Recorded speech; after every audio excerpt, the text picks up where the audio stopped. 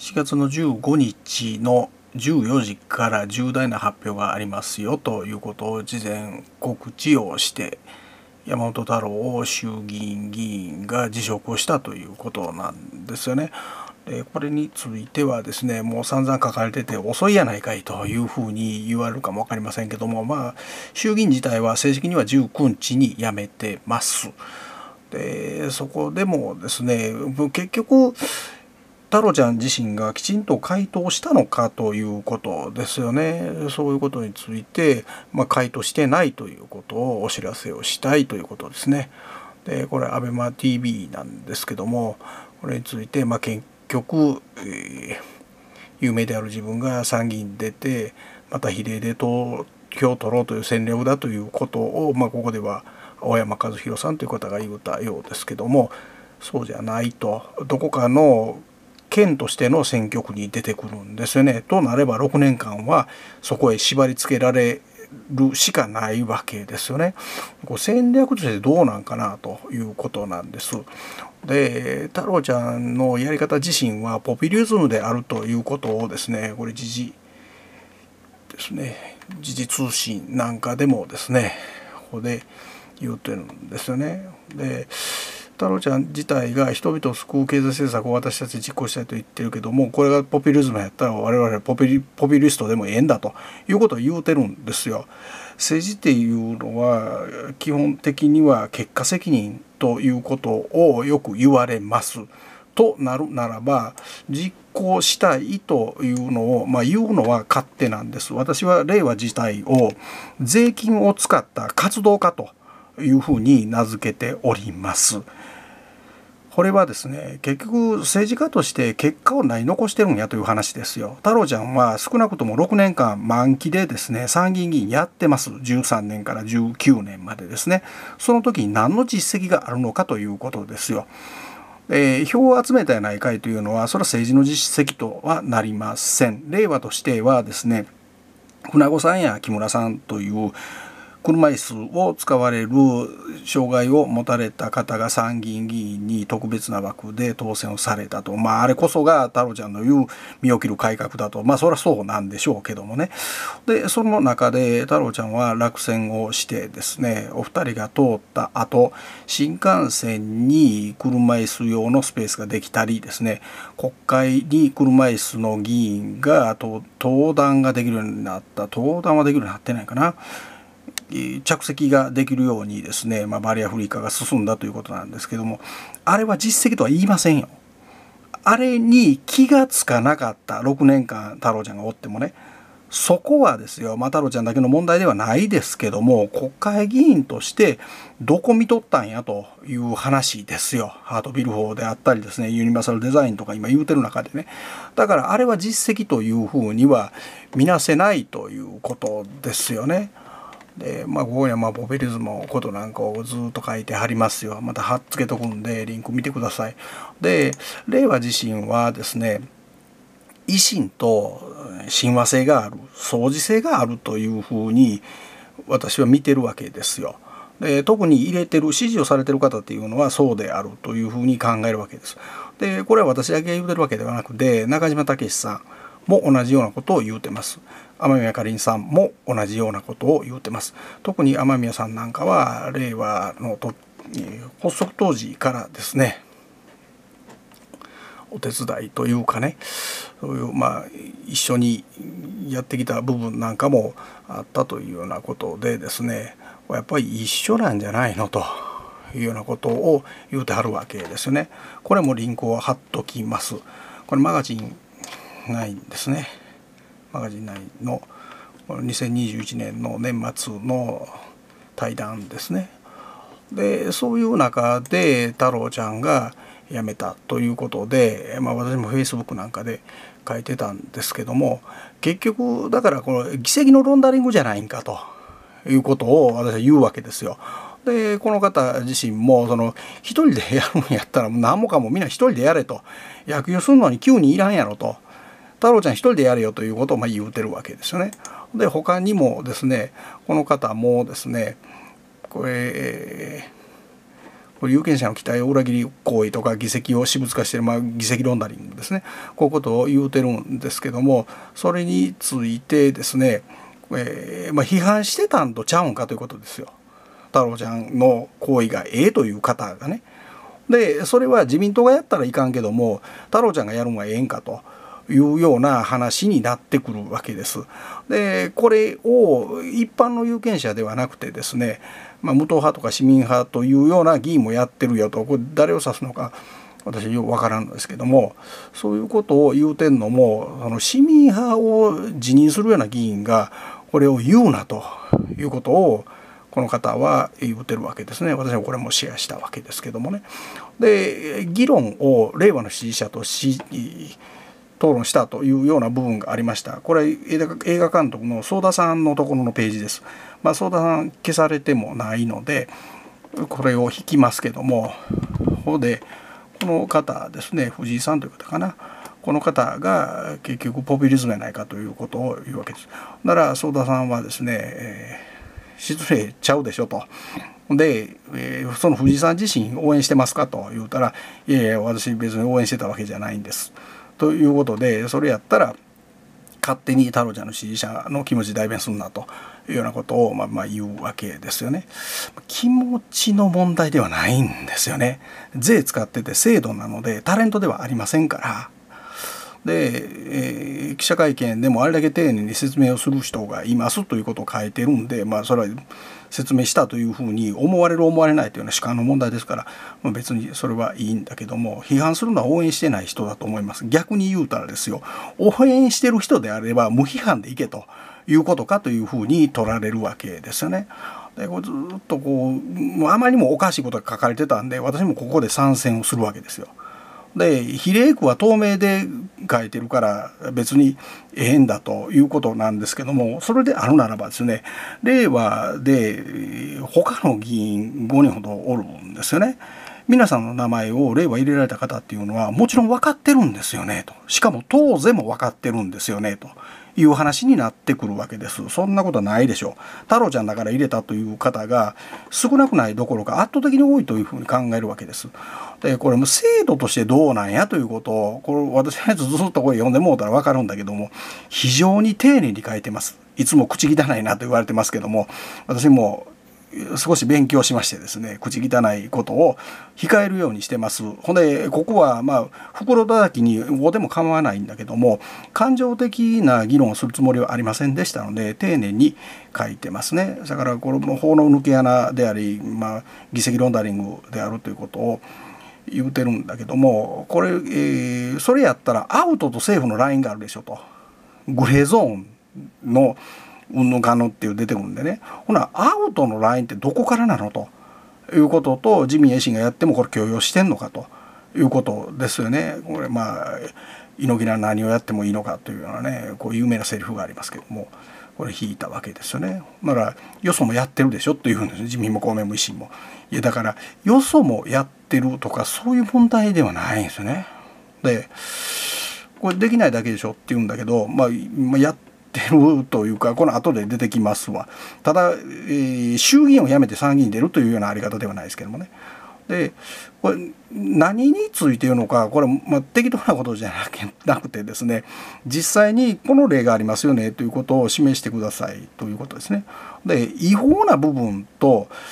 えー、マナーとかコンプライアンスとかですね、まあ、眉を潜められても違法でない部分ってありますよね。そこと一緒にしたらあきませんよということを書いてます。それであるのは、まあ、不倫とか失言とかこれはもう違法ではないわけですからそれはええんかと。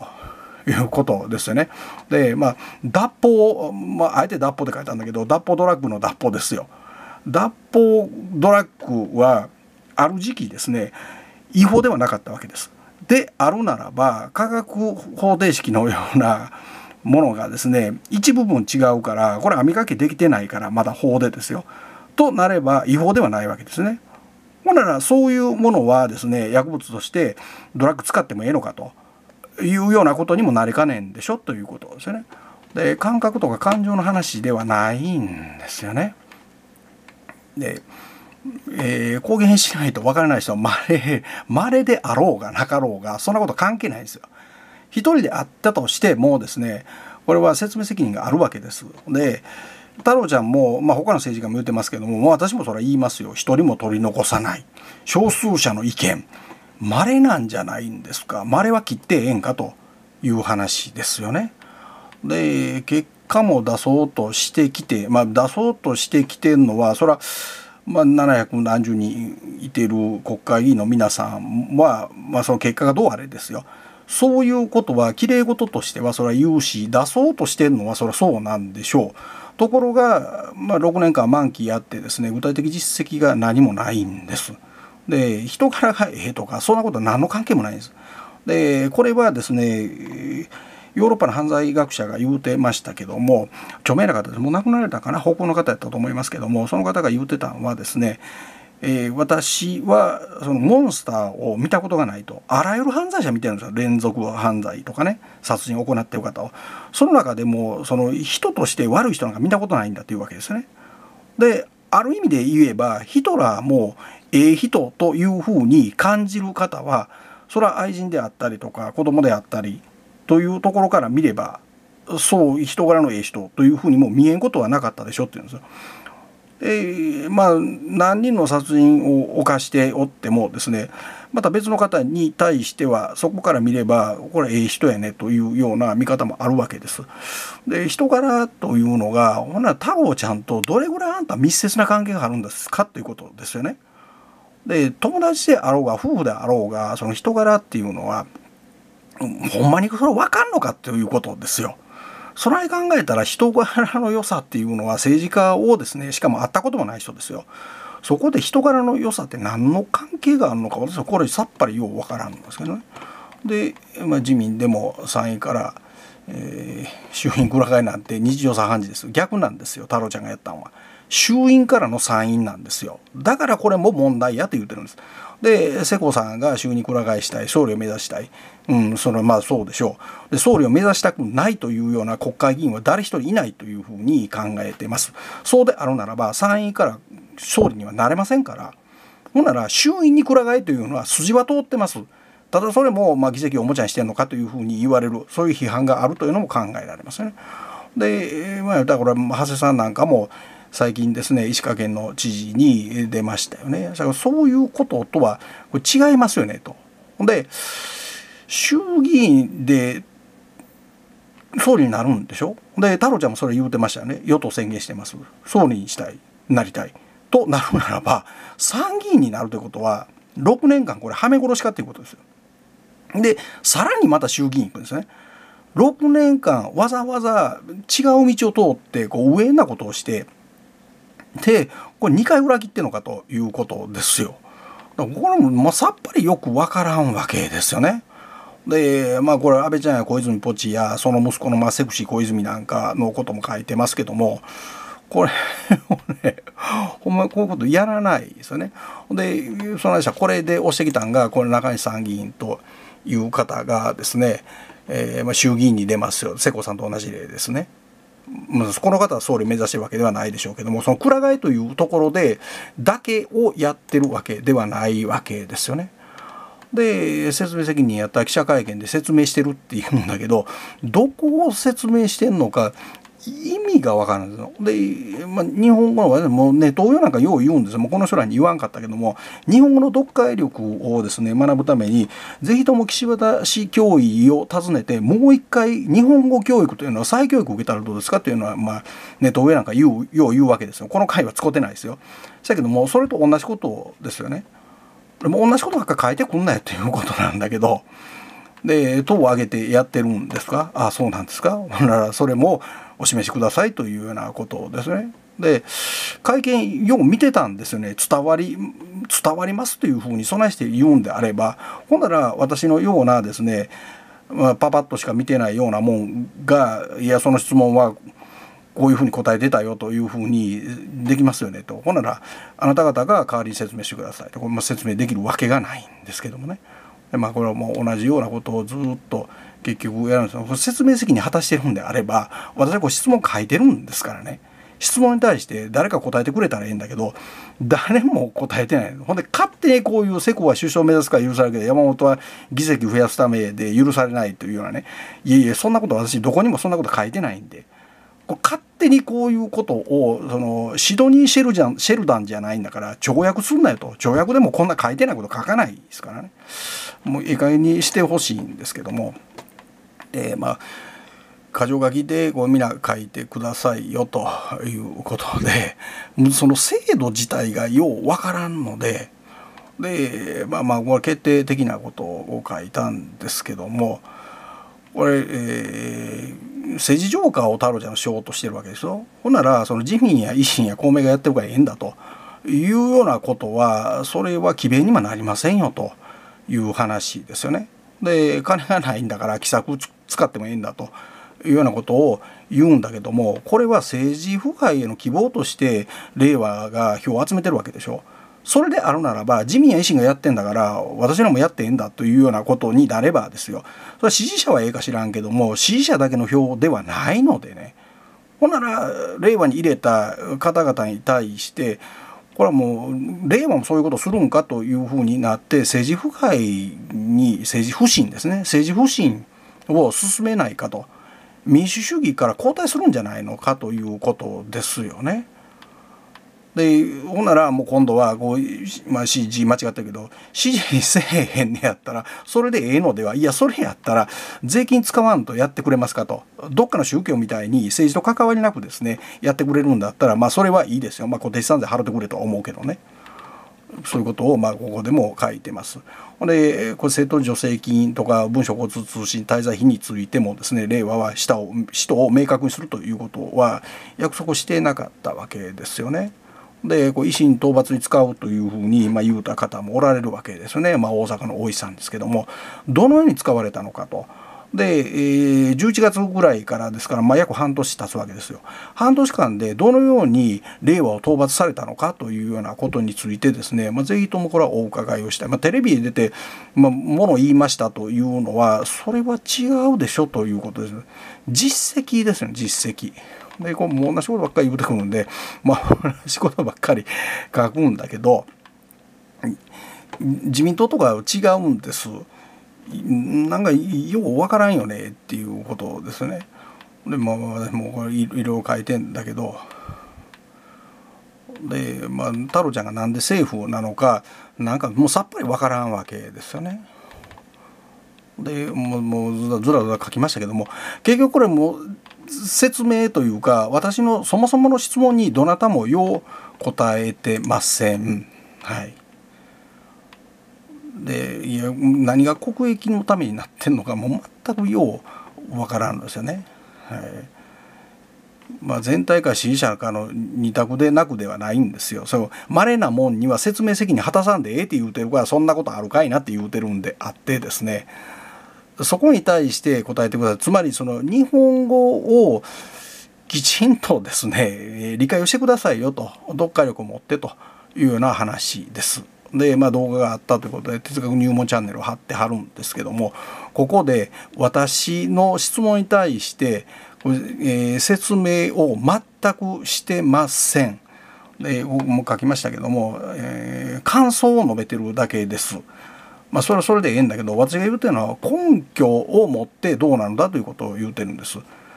まあ、頭の柔らかい人だなというふうにこう持ち上げるのはそれ勝手なんですけどもこうもちろんこれを持ち上げるということはこの手法は自民や維新が使ってもようやったなということをあんた方は言うのかということですよね。でえー、ここでさっきのやつがこれですよね山本太郎の議員辞職えなんとかなんとかってまあもうこれもまあ言うたら私はこれ感想にしか見えないです根拠について明示されてないのででそういうことをこの人まやってたらですね結局、えー、令和支持者がこうもうむむちゃくちゃ言うてきたよというようなことをねこうむちゃくちゃな批判や誹謗中傷が最近ひどいというようなことを書いてますね。でまあおまけ的にはなるんですけどももう一丁あるんですわ。これ社民の問題です。社民の問題においてですね社民党でキム・テヨンさんが参議院で出るということを言うたんですけどもその後キムさんはまあ、社民党離れるわけですよね。で無所属であって出るかなというようなことを言われたんだけど結局これ令和に出るわけですよね。で令和に出たらですねまあ僕は令和の支持者かなんか知りませんよ知りませんけどもこうまあいろんな方がねこう書いてくるわけですよ。で私もこれもどうなんですかということでおつぶきさんが書いてたツイートがあと消されましたよねというようなことで、まあ、お金を社民党としてはお金使ってるんですよというような、まあ、ポスターも吸ったりねそういうことがあるんですよというようなことを言うてるんです。でここがだから説明が結局どっちもですよ社民党もそうなんだけどもキムさん自身も説明足らんよねということを言うてるんです。でこれ私も見ましたこのツイートねこれ削除した理由というのはそれは個人的な問題をキムさんの誹謗中傷に当たるというようなことが含まれてたから消しましたよということを大津べきさん言うわけなんだけどもそれと私の質問とは全然違うんですよねこう書いてるけど。ご本人属性に対する攻撃や差別を誘発する疑念があると指摘を受けたので削除します。これ何の関係あんねんと。互いに言うてること違うよねというかその何が元になってるのかさっぱり分からんわけですよ。ここについて説明されたらどうですかということを言うてるにもかかわらずお互いどちらも説明をしてないからここでキムさんのところにですね書いてですねでどうなんですかと。ただ、まあ、政治の問題でもありますしもうどうしてもこれ書けないんだと墓場まで持っていかなあかん話それはあるでしょう。それはまああったとしてもですよそれが、えー、ギリギリがどこやねんと。いうようなところもですねこれ全く見えないんですよね。ならこうどっちも、まあ、これは説明責任をどこまでがあるのかということを模索するべきであるというふうに考えますよね。でまあくじ引き当てもんじゃないよということですよ。口頭や公人やねんからちゃんと説明せえということです。でこう書いてますけどこのくじ引きで議員選べというようなそういうことを主張されてるような方もおられてですねそれはそれで、まあ、確かに民主主義に直接民主主義により近いよねというようなことで、まあ、ある部分賛同するところあるんですけど、まあ、ここはあまり深く触れませんけどもね。でキムさん本人がこう書いてはくれたんですけどもこの説明で泥沼になるとかね書いてはるんですけどもその泥沼云々じゃないですよ。これ泥沼になるということはこれは書いてないけどもお互いが説明したら泥沼になるんだという話なんかということですよ。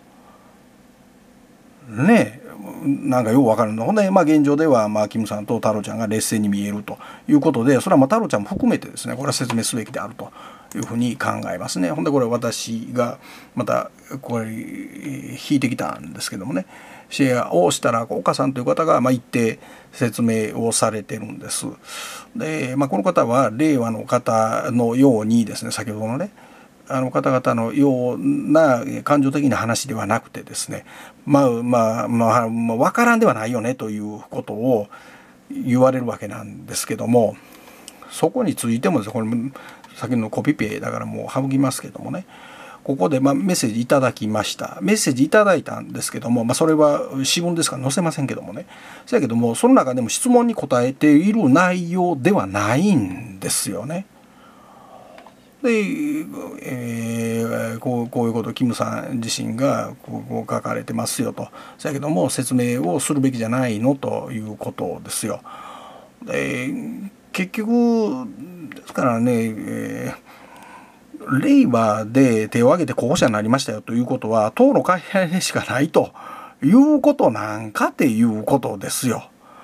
でかわいそうやからそっとしといたれというふうに私はそのメッセージなんかでね読んでそうかいなというふうに思ったんだけどそれは民主主義と逆行しますよねということですよ。でこれ、えー、そっとしといたれっていうのは結局、まあ、政治のことは政治のプロが考える話であって市民は主権者ですからね。そこが一番に考えなければならないのでそれ還元でもええねやというふうにも受け取れる。つまりまあお主も悪いよのみたいなそういうとこで決めてええんかというようなことを野党であるところがですね社民党や令和がそれをするのかということを私はこれは通ってるわけです。だからこれはもう支持者に対してもですね、これいらん質問すんなと、黙って俺らの言うことに従うとけというようなことなんかということを問うてるわけです。でまあこれに対してもやっぱ岡さんもここはもうさすがにま説明できなかったということでキムさんも1回だけ帰ってきただけでね説明をいただいたわけではないのでだからこういうことを野党側もじゃんじゃかじゃんじゃかやるということ自身がですねこれは政治不信に陥るよということでですねやはりきちんと納得がいくまでですね時間の許す限り説明を野党の側もすべきではないのかそれをやらないのであればですよ。それはどうしてもこう、ね、与党側に対してですよ。説明せえ説明せえっていやいや自分ら説明せえへんやんと。あなた方は記者ではないので。国会議員ですからね。公党と国会議員です。税金使ってんだから同じ立場で与党と野党と違ってるわけですから、まあ、与党の方がより説明責任はありますけどもそれでもまあ同じ、えー、議員のとか選挙制度のとかそういうようなところについてのですね運用がこれでええのかどうなのかということを有権者から批判されている場合にはですよ同じように説明責任は野党であってもですね厳しくこれ追及されるべきだと思います。これをだからメディアなんかもきちんと追及してないから記者会見でやってるだろうみたいなことをね書いてた人がおったんだけども記者会見でほんまに度肝を抜くような質問をほんまにさせてんのかということですよ。それであるならばわかるんだけどもそれはパンケーキのガースのようにですよおざなりにもうあなた一回当てたからええでしょみたいなねその望月磯子東京新聞記者に対して非常に無礼な態度でやるわけだけどもそういうことではなくてそれもまあ野党批判するわけでしょ。で国会質問でもそれちゃんと答えなさいよとか言うわけですよ。それであるならば自分らがちゃんと答えと。いうような話でございました。これはもちろん私もあの半分公人やというふうに考えてますから私は自分の都合の悪いことも何でもかんでも全部答えてますからね。えー、皆さんの中でいやいや高平これ答えてないよねと逃げ回ってるということがあるならば、まあ、いつでも何でも言うてください。でその方がですね私のように、え、公開生中継でそのその人のチャンネルでねやるっていうんであればそれいつでも出ます。ただ編集はせんとねいらん編集ですよ。だからまあお互いにお互いのカメラを立ててですね同時生中継でやるというようなスタイルが望ましいんじゃないかなと思いますけどもね私逃げずに、まあ、どんな自分に非があるようなことを言われてもですねあかんかったらすみませんと言うし勉強が足りませんでしたと言うし真摯に向き合って説明をしたいというふうに考えております。